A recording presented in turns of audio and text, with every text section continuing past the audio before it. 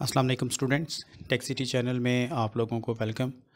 Student, आज की इस वीडियो में हम U M T pro dongle की के ओ सी फाइव यानी कॉलकम चिप सेट वाले जो फ़ोन होते हैं, उनकी इसकी जो नई अपडेट आई है के ओ सी फाइव की, उसके बारे में डिस्कस करेंगे। देखें, अगर आप U M T support access sir server पर आएँगे तो यहाँ पर न्यू पे आप क्लिक करेंगे, और 8.4 के ओ सी फाइव जो है, वो कल 12 नवंबर को लॉन्च हो गया।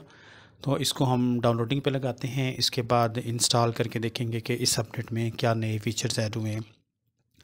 तो ये डाउनलोडिंग स्टार्ट हो गई है और डाउनलोडिंग में थोड़ा सा टाइम लगेगा। तो वीडियो मैं यहाँ पे फास्ट फॉरवर्ड पे चला रहा हूँ ताकि जल्दी जल्दी डाउनलोडिंग इसकी मुकम्मल हो जाए।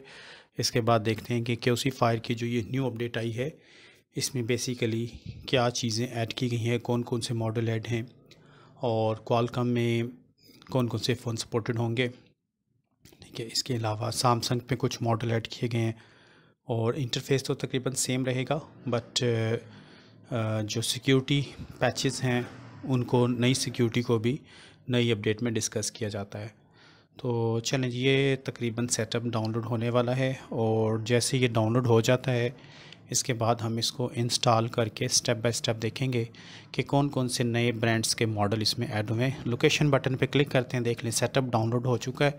इसको पहले हम राइट क्लिक करके इसी जगह पे एक्सट्रैक्ट करते हैं। और इसके बाद फिर हम इसकी इंस्टॉलेशन करेंगे। सेवन सिप के ज़रिए देखिए हम एक्सट्रैक्ट हेयर करते हैं। एक्सट्रैक्ट हेयर करेंगे तो ये सेटअप ओपन होकर आ जाएगा।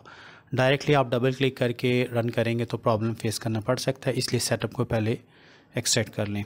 तो चलिए जिस पे डबल क्लिक कर दिया है मैंने और अब इसको इंस्टॉल करते हैं। इंस्टॉलेशन से पहले ही जो है सारी चीज़ें सामने आ जाएँगी कि क्या क्या चीज़ें अदरवाइज़ एंड पे जब सेटअप रन होगा वहाँ पे भी सारी चीज़ें नज़र आ जाती हैं।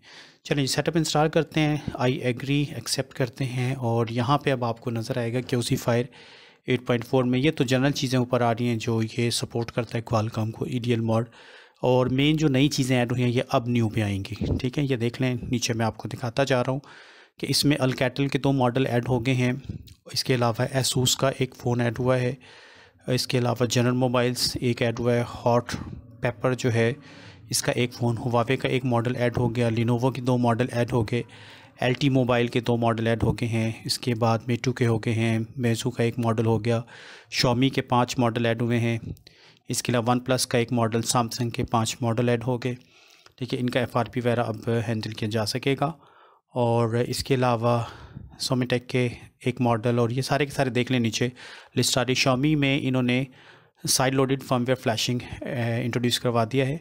कि साइड बटन के ज़रिए आप फास्ट बूट मोड पे इनकी फ्लैशिंग वगैरह कर सकेंगे।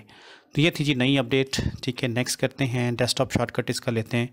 इसके बाद इसको इंस्टॉल करने की कोशिश करते हैं। तो ये सेटअप सारा जो है मुकम्मल होने वाला है। ठीक है, ये देख लें, ये सारे का सारा सेटअप जो है मुकम्मल हो गया। अब इसका शॉर्टकट आइकन डेस्कटॉप पे आ जाएगा, उसको भी हम रन करके फिर देखते हैं। ठीक है जी इंस्टॉलेशन होगी डेस्कटॉप पे देखें, इसका आइकन आ जाएगा। ये मेरे सिस्टम में ऑलरेडी इंस्टॉल है, इसको क्लोज़ कर देते हैं और नेक्स्ट करके इसके बाद फिनिश करते हैं तो ये रन हो जाएगा। ठीक है जी डेस्कटॉप पे ये देखें, ये क्यू सी फ़ाइल का आइकन आ गया। अब इसको रन करते हैं और इंटरफेस में तो एज इट इज़ रहेगा, कोई ख़ास फ़र्क नहीं होगा बट अगर आप ब्रांड वाइज जो है सैमसंग टैब को ओपन करेंगे तो उसके मॉडल लिस्ट में आप कुछ ये नए मॉडल आपको नज़र आएँगे। इस तरह मज़ीद जो है कुछ फ़ीचर्स वगैरह देखते हैं। इंटरफेस में तो नहीं होगा कोई ख़ास डिफरेंस वो एज इट इज़ रहेगा। तो चलें जी सर एप्लीकेशन जो है वो रन होने लगी है और इसके बाद हम वन बाई वन इसको चेक करते हैं कि क्या सिलसिला है इसमें। तो ये फ़र्स्ट टाइम रन होने में थोड़ा सा टाइम लेगा वेट कर लीजिएगा बहुत से स्टूडेंट डबल क्लिक कर लेते हैं, फिर वार्निंग आ जाती है एप्लीकेशन ऑलरेडी रनिंग ये देखें, ये नीचे भी आपको बताया जा रहा है एडिट में क्या क्या नई चीज़ें ऐड हुई हैं।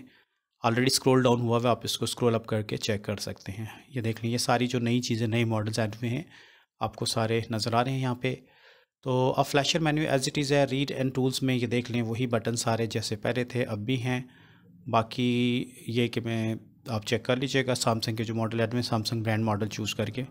ऑलमोस्ट देख लें इंटरफेस वैसे ही है, इसमें कोई ख़ास डिफरेंस नहीं है।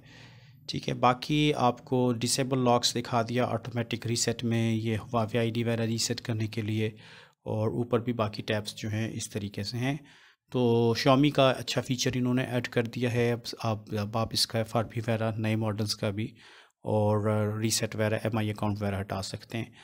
तो इस वीडियो में स्टूडेंट इतना ही रखते हैं नेक्स्ट वीडियो के साथ फिर इन ताला हाजिर होंगे तब तक के लिए अल्लाह हाफिज़।